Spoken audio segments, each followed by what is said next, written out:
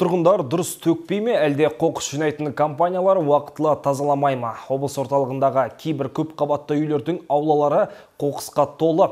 Халық бұған жауапты кәсіпорындарды айыптайды. Ал олар болса тұрғындарға мін тағумен келеді. Мәселені енді полиция бақылауға алды. Одан қандай нәтиже болатын уақыт көрсетеді. Алғашқы рейд қалай өткені жайлы келесі бейнематериалда. Татьяна Шепелева Чехов көшесінде жеке секторда тұрады. Рұқсат етілмеген үйінділер мәселесі бірнеше жылдан бері жырға айналғанын айтады. Сөзінше осыдан екі күн бұрын бұл жерде таудай қоқыс жиналған. Қолқаны қапқаны жағымсыз иіс ауаны ластап далаға шығу мүмкін емес дейді. Мы живем здесь около 7 лет. Бұл жерде тұрып жатқанымызға жеті жылдан асты. Біз ересектер енді шыдаймыз ғой. Бірақ кішкентай балаларымызды алып шықсақ, қоқыстың иісінен демалу мүмкін емес. Екі күн бұрын тазартып алып кетті. Бір күн өткен жоқ қайтадан үйіліп жатыр.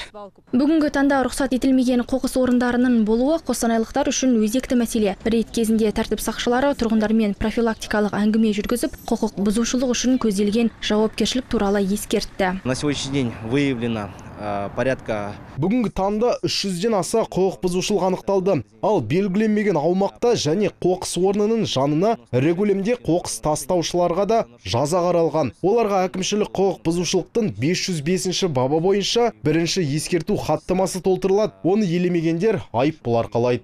Бүгінде сала мамандары рұқсат етілмеген үйінділерді жою және кінәлілерді жауапкершілікке тарту шараларын белсенді түрде жүргізуде. Бірінші рет ескерту жасалса, келесі жолы айыппұл салынбақ. Айдана Манатқызы, Дияр Ахметшин, Қостанай телеарнасы.